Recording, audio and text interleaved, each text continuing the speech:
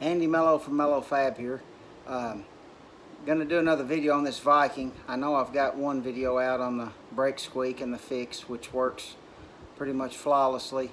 Uh, but I'm actually gonna tear this one down and uh, uh, do the repair kind of lifetime, do a front and a rear. The, the repair is basically the same.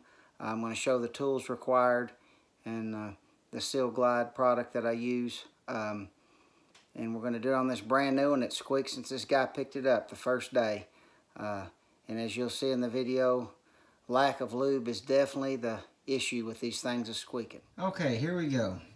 I know I've done a video on this before, but not actually physically taking it apart and in very detail showing all the locations to lube for the traditional Yamaha brake squeak. But this is a 2022 uh, squeak from day one. Uh, going to take this one apart and I will show you that the lube is inadequate in most locations, uh, if there's any at all. But I'll show you the tools necessary to do this. Uh, the tool set is just a little bit different from the front to the rear because the bottom bolt on the rear is tight and you got to kind of use a wrench. But on the front, deep 12 millimeter socket for your caliper bolt there. And then you'll need a five millimeter Allen. I'll show you a little bit more detail when I get the caliper off, but you have your pins that go through the pad. You'll bust them loose with it bolted up so it's easier to get it. And these are prone to stripping when you get some miles. There's a couple techniques you can use. I'll go through that here in a little bit. Shouldn't have that problem on this machine. But we'll take this apart and then I will show you the locations to lube. I'm going to start with just busting these pins loose. The five, five millimeter.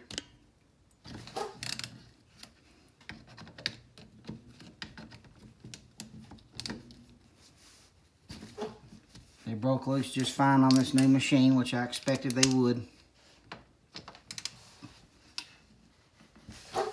And the 12s.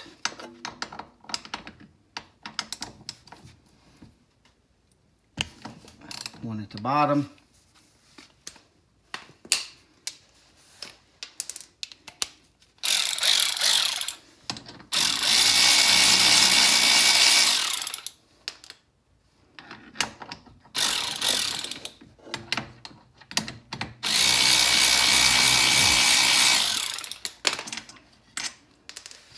Now it's that easy to get the caliper apart. See, obviously just brand new pads everything's new here. But you can see here are the Allens that I'm talking about that go through the pads. So at this point I'm broke loose and you'll just take them out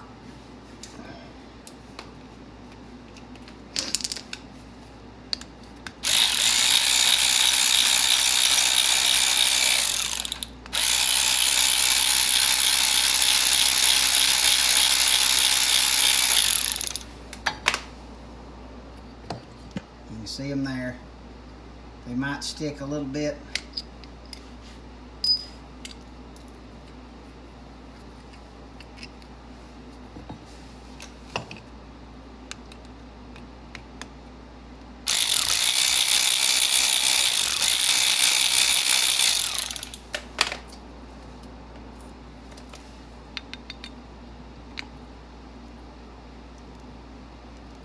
when they have miles and corrosion on them, it is hard to get these pins out, even this brand new one, because the pads, I'll show you, to get them out.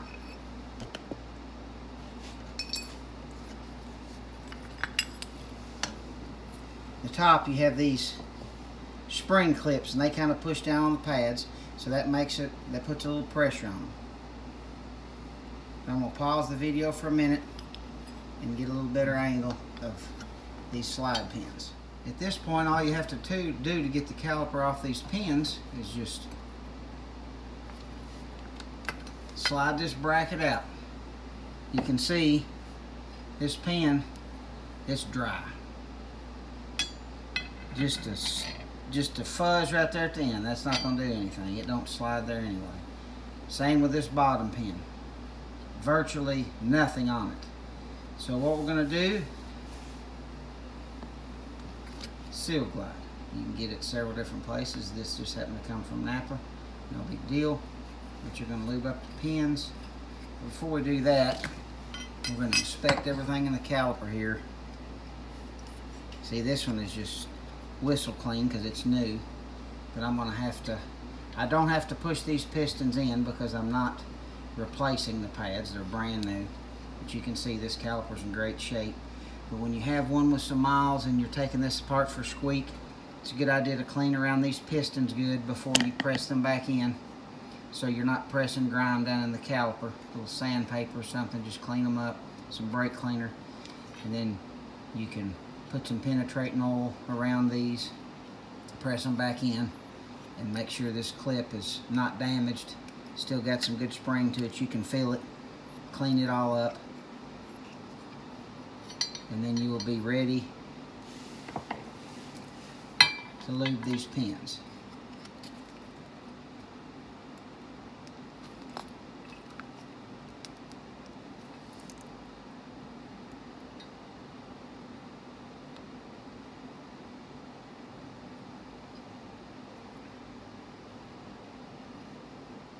And if you put too much, you'll know when you go to put it back in the caliper, it won't go all the way in the rubber boot because the grease will not compress. Will pressurize, but it won't compress.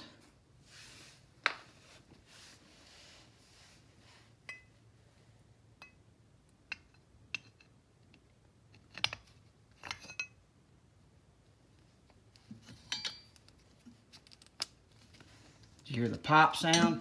It popped up. You got to make sure your rubber's tucked up over the lip here so it doesn't let grime from the trail in. We've got it. We're in there now. So we are back assembled. Like I said, with this being new, there's not a whole lot of cleanup. But it's nice that it's new that I can show you this.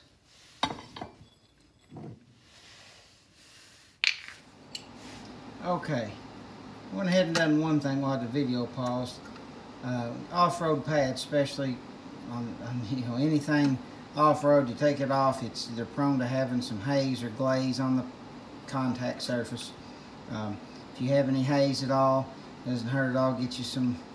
I just used a scuffing pad and done it by hand. You don't want to get too crazy. Sandpaper, just something and knock the glaze off. Because uh, you can have grit and grime and stuff that's compacted in there that could be chewing into your pads or your rotors. So this didn't take much at all. Obviously, like I said, a new machine.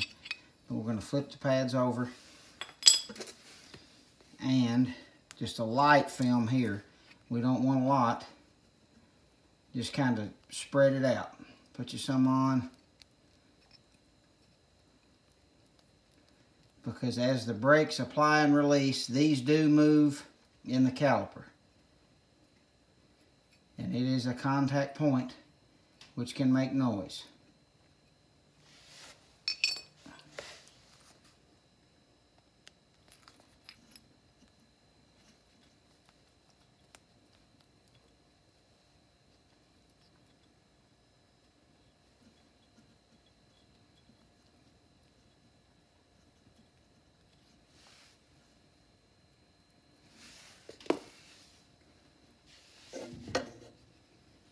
and then going back together can be a little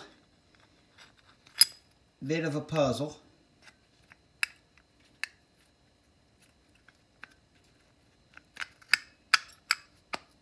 You lay it up in there and you see how it lines up in the guides here.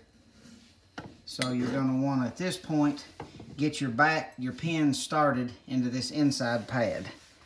So these are perfectly clean and smooth, so I don't have to clean them off. But we are going to put this on there so they move good. Gonna get one started.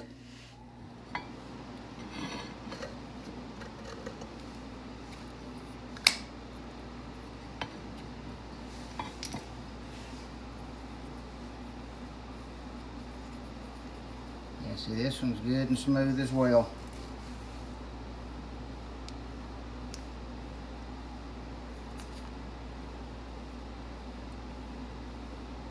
Just a light film on this. You don't want a lot of buildup to sling around and get on your rotor.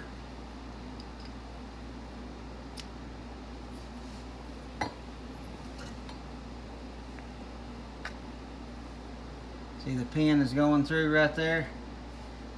You push too far, you don't want to go too far through because you can't get your outside pad in. We're going to lay our outside pad in here. You got to kind of push down into it to preload that spring.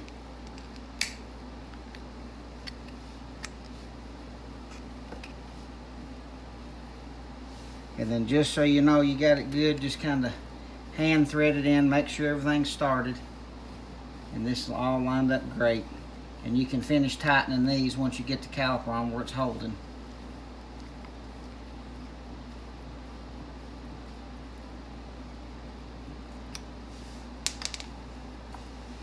And then you'll just kind of spread the pads out by hand.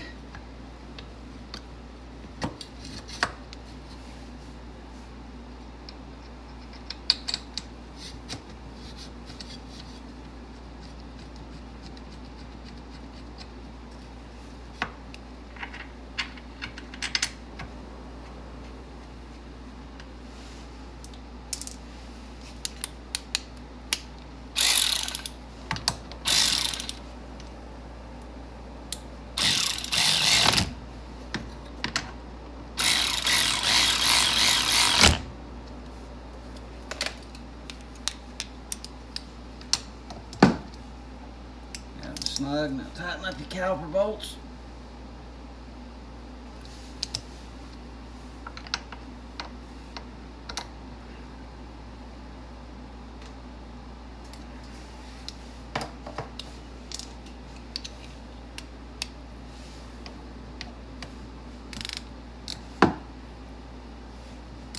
And these Allen heads that you're going to tighten, if you are using air tools to put it back in or cordless tools, just be careful because if you are slamming on it real hard, it's easy for the Allen to round the socket out.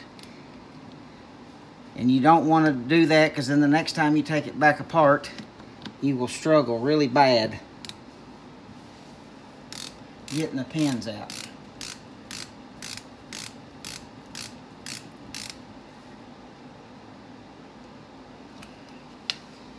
Well, that concludes the front. I'll do the same to the other side. And then when we go to the back, I'll show you the mild difference in tool configuration you need. And uh, that'll conclude the brake squeal fix for the Yamahas. Okay, we're now in the back. Virtually the same procedure. I just wanted to show you this one, the bottom caliper bolt here. As you can see, there's not a lot of room between this shield and the bolt. You can take the shield off if you choose. Factory setup, you can squeeze a 3 8 drive ratchet with a short socket. You can just get it in there. Um, but if you have replaced your control arms with anything aftermarket Super ATV, the arch type, uh, lots of things can get in the way and it makes it kind of wrench only, which is not that big of a deal, but in the factory setup, you're good. Besides that, we will be the same as the front bottom 12 millimeter top and then you have your 5 millimeter Allens that go through. I'll bust them loose and uh, the procedure will be the same for the rear. And when I get this one apart I'm going to show you a trick to getting those Allen bolts out if they ever strip out Okay, like I said, the physical procedure of taking everything apart is identical to the front, so I saved you some time there. But as you can see, no grease. Just about every Yamaha that I've took apart, same thing, no grease. But on these pins, as you can see, it is an Allen, and they are bad about stripping out if you ever go to service your brakes, change the pads, lube up to stop the squeak, whatever you're doing, and these pins do start to strip out. A savior method you can start with is get you a set of Torx bit sockets and go the next size up from the Allen and hopefully you can fit one in by hand. If not, you can peck it in with a hammer. Uh, most of the time, that'll get it out. Sometimes you run into a step-up procedure you got to go the next size Allen and the next size torque till you can finally get it to come out. Uh, it can be a, a pill, but that is one method that is pretty convenient at getting these out. One last pointer on the rear, when removing the Allen head pins or just at least loosening them up, um, obviously you see this shield, it gets in the way for sure of getting to the bottom when you have to really flex this over or remove it. Um, when removing the Allen heads, you can take the caliper bolts out or take one of them out and swivel it up and use that as leverage to break it loose. Um, and same going back together. Uh, you can put them in and uh, tighten them up. I was actually able to hold the caliper and tighten them up sufficiently, uh, which you should be able to do. Uh, but just another little pointer because that can get tight right here on this heat shield, or this, I'm sorry, this control arm shield for the CV boot. Um, and without taking that off, this can be done easily by just removing these bolts and swiveling the caliper up for some access. Hope this video helped someone out.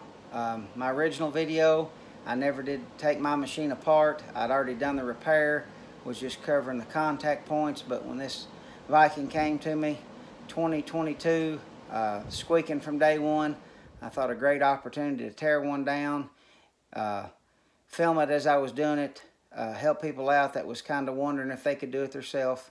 Um, just a great fix that works and gets rid of that annoying sound. Um, everyone like and subscribe. Uh, I know we're a while away, but when we get to a thousand subscribers, um, going to do a cool giveaway. Um, I'll do a video later when we get closer and uh, go from there. But if you have any questions on this video, just comment and I will get back with you.